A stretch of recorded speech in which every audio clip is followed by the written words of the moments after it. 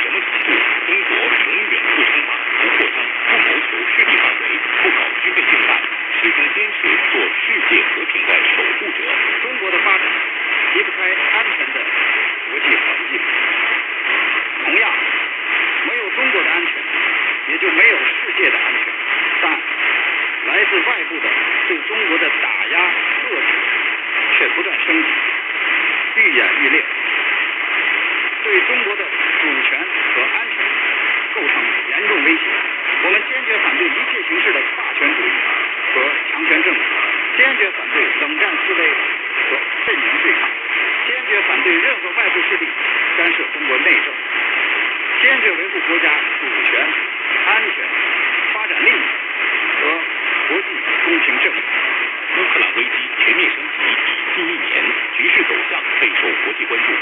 秦刚再次阐述中方在乌克兰问题上的原则立场。危机爆发以来，中国始终立足是非曲直，恪守客观公正。习近平主席提出四个应该、四个共同、三点四，为缓和局势、化解危机发挥了负责任、建设性作用。我们将继续劝和促谈，为政治解决乌克兰危机提供中国智慧，与国际社会一道，共同推动对话协商，解决各方关切，谋求共同安全。同时，我们敦促有关国家立即停止拱火浇油，停止向中国甩锅推责，停止鼓噪今日乌克兰，明日台湾。昨天六九，我们继续说，我们知道呢，发展与安全是相互影响的。为什么说推动全球安全治理的中国主张是切实有效的？在推动落实全球安全倡议的同时，我们应当如何来统筹推进全球发展倡议呢？接下来，我们来听时事评论员郭宪刚的观点。我们知道，中国提出的这个安全球安全倡议是顺应这个人类社会发展的这个潮流和这个各国人民对于安全这个渴望和呼声提出来的。中国的这个呃全球安全倡议，它的核心内容是这个要在联合国的这个领导之下，按照联合国的宪章和原则，这个实现共同、综合、合作和可持续的这个安全。那么这四项具体的内容呢，都是非常国际性是非常强的。那么我们知道，共同的这个安全观指的就是对冷战思维、对零和游戏的一种否定。第二个，这个综合性的安安全观。那么我们知道，这个安全有传统安全，有非传统安全，啊，有各个方面的这个内容。那么，而且呢，安全的这种和发展的关系也是密不可分的。经济发展不起来，社会贫困问题解决不了，那么社会就会动荡，就会产生恐怖主义。那么，呃，可持续的发展安全观呢也是非常重要的，因为我们所追求的安全不是一时一地的，而是持久的和平、持久的安全。因此呢，中国的这个呃全球安全倡议所包含的内容是非常丰富的，是有密切相关的联系的，是符合当今社会发展的需要的。因此呢，得到了这个呃各国啊的支持。那么，如何来推进这个安全治理呢？我想，就是要按照中国所提出的这个安全观，在各个领域中加强合作，特别是注重这个向发展中国家提供帮助，使他们的社会能够稳定下来。呃，同时呢，要这个坚持多边主义，在联合国的框架内解决各国的分歧，而不是动不动就采用武力。呃，因此呢，我想，呃，只要坚持中国的这种安全主张，按照按照这个主张的构想去做，那么，人类实现和平的目标还是有望能够达到的。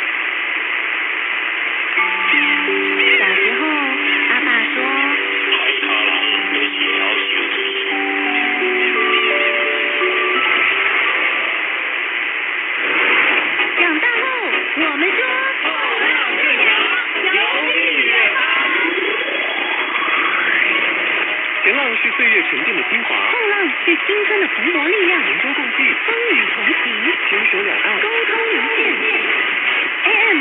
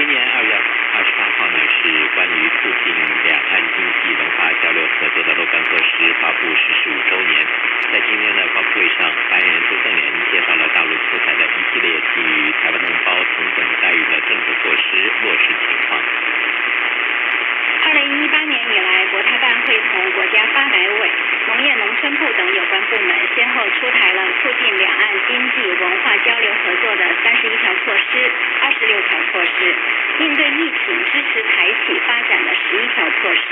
以及支持台胞台企在大陆农业、林业领域发展的农林二十二条措施等一系列惠及台湾同胞的政策措施。那五年来呢，各地区各部门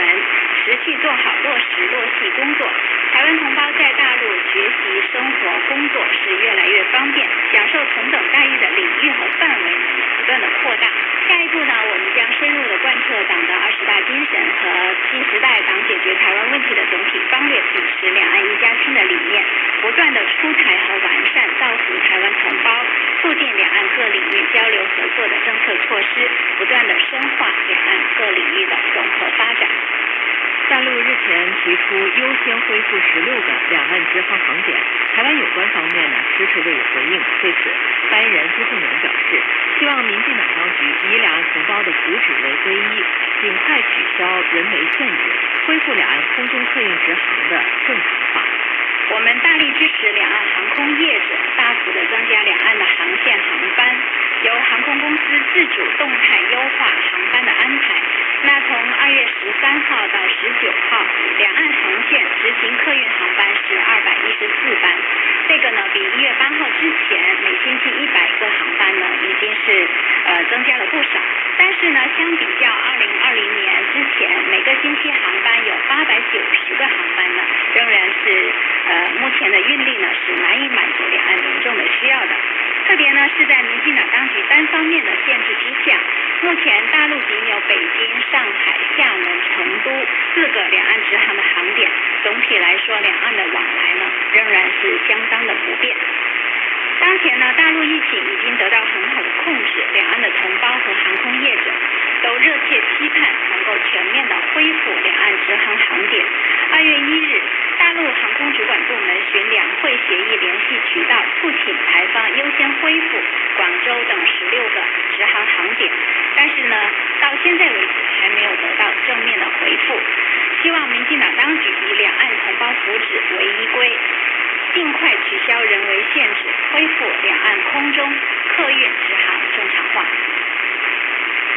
国台办日前表示，将协调有关部门解决台湾部分农渔产品输入大陆的问题，而台湾的陆委会则称不要将经贸措施当作对台农业膨胀的工具。对此，发言人朱凤莲回应说。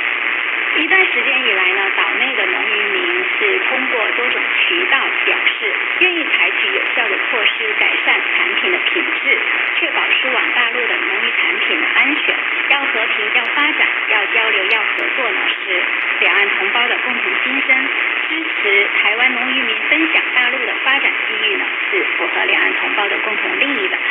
对于台湾农渔民希望恢复台湾农渔产品输入大陆的呼声呢，我们高度重视，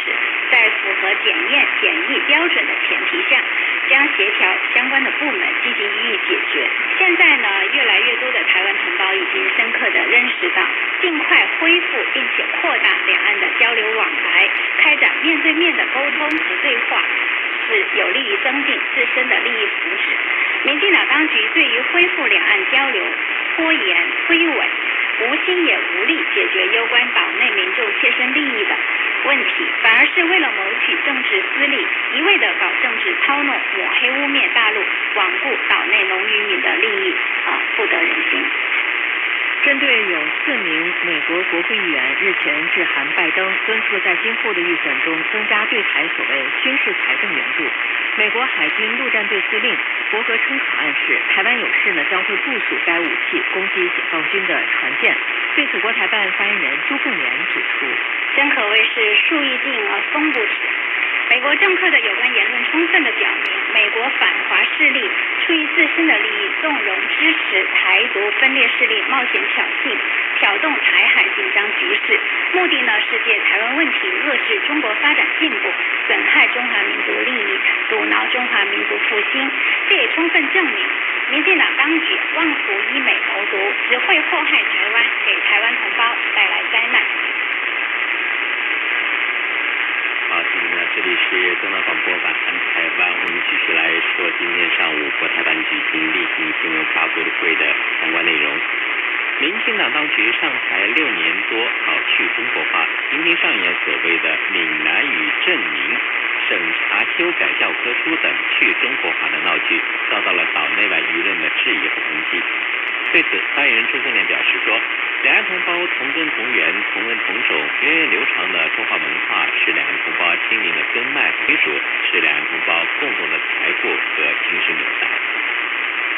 这么多年来，尽管两岸关系经历了曲折起伏，但两岸同胞呢始终保持了人文往来不停，文化交流不断。大陆方面积极搭建形式多样的两岸文化交流平台，致力推动两岸同胞携手弘扬中华文化，在两岸产生广泛积极的影响，对增进两岸同胞的民族认同和心灵契合，促进两岸融合发展呢，也发挥了重要的作用。我们将坚持尊重、关爱、造福台湾同胞，通过合力保护文化遗产，共同繁荣文艺创作，加强公共文化服务，开展文化产业合作，携手对外弘扬中华文化等多种方式，加强两岸的交流和合作，不断的深化两岸融合发展，增进同胞心灵契合。我们也希望更多的台湾同胞能够积极参与到大陆的文化事业发展中来。坚决反对去中国化等台独图谋，共同推动中华优秀传统文化实现创造性的转化和创新性的发展。那么说到文化，二零二三年春节，《流浪地球二》《狂飙》等优质的影视剧在两岸同时掀起了追剧热潮，流行文化成为当下突破两岸民众隔阂重要的媒介。对此呢，朱凤莲表示，两岸影视交流呢，确实是增进两岸众了解、共同弘扬中华优秀传统文化的重要的渠道。刚刚我已经提到，每年呢是有上千人次的台湾演艺人员往返两岸，参与大陆的广电视听节目和影视制作。那很多大陆的优秀的影视作品呢，也深受台湾民众，特别是青少年的喜欢。我们积极的支持两岸影视文化交流，三十一条措施和二十六条措施呢，都有多项的涉及文化领域的举措，为台湾相关的从业人员呢来大陆发展提供了更大的空间，营造了更好的条件。那么在演出市场方面呢，大家应该也看到，呃，文化和旅游部日前呢已经发布消息，从二月十六号开始，各地的文化和旅游行政部门恢复对涉港澳台营业性演出的受理和审批，啊、大家很快在大陆能够欣赏到我们台湾演艺人员的这种营业性的演出。那我们希望两岸的文化业者呢，能够机遇，在大陆文化产业的发展进程当中去分享发展空间，进一步的深化两岸文化交流合作，共同促进文化事业繁荣发展。北京时间十八点二十五分，这里是东南广播晚安台湾，主持人刘介阳光在直播间为各位服务，一起分享一个小时的新闻资讯时光。在为您介绍了今天上午国台办例行新闻发布会之后，稍后您会了解到的是海涛观澜，说的是台独在台湾没有市场，看合作、看交流、看大陆游客是台湾民众的共同心声。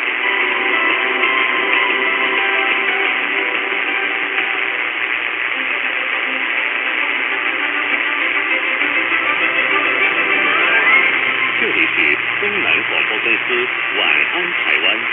欢迎继续收听。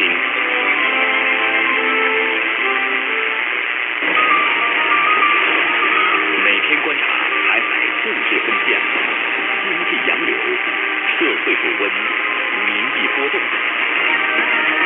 以思想为灯塔，用智慧做罗盘，海涛观澜。